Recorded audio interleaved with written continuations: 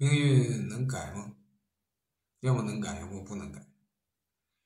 凡是一个问题问出来，只要你这样去想答案，那基本上都是错的，那都是很绝对的。西方的二分法，中国要知道这个太极呀，像水一样，不是讲什么灰色地带，因为乾跟坤，六十四卦里面看似很明朗，但是人间换到各种场景，它都是阴阳交汇。错综复杂的，那么说轻轻者上，浊浊者下。你轻，这个人再怎么高也高不上天。所以这两个卦几乎可以忽略不计。如果非要这样说，那我们说一定能改。可是你怎么改改不了？嗯，你要受这个地球上。太阳系，啊，然后银河系，然后再系，各种的条件约束，不要说那么大了，你周围的环境，自己的家，连你自己内心都很难控制。但是这不是不是宿命了呢？我们人毕竟是一个灵，相对于比较高的，至少我们肉眼可见的其他的，好像似乎都能。左右，你能决定一只蚂蚁的生死，那你说你能不能改它的命？但是放到更高一层，那些看不见的，它控制的是你的意识。然后再去指派你去怎么想怎么做，好像又绕回来了，改不了。到底怎么改？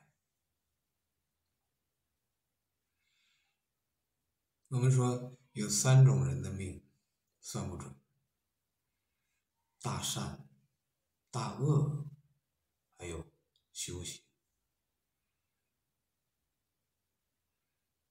善要得法，你好心办坏事，帮倒忙，那怎么叫善呢？恶，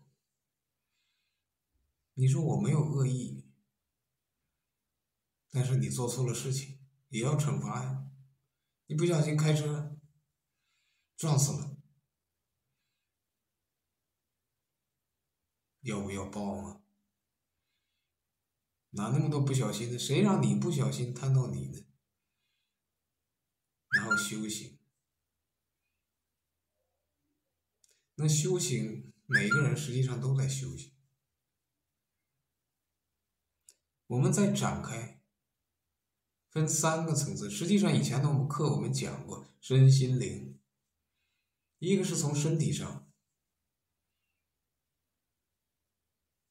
身体好了。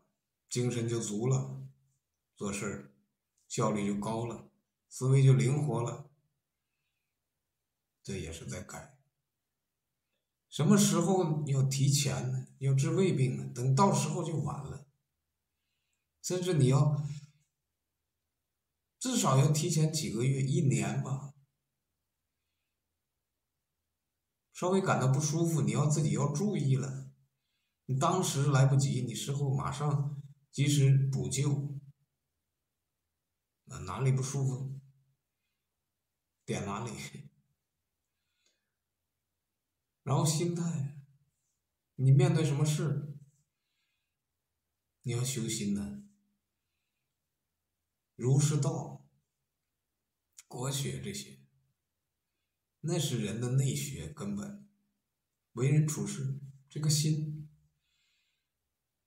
最后才是灵啊，因为有灵光真正生来，小孩子行，元气满满；那大人越来越糊涂，被社会污染。你这样一步一步啊，多看书，多跟有智慧的人交流有意义的事情，多做，那么才能不断的、慢慢的啊。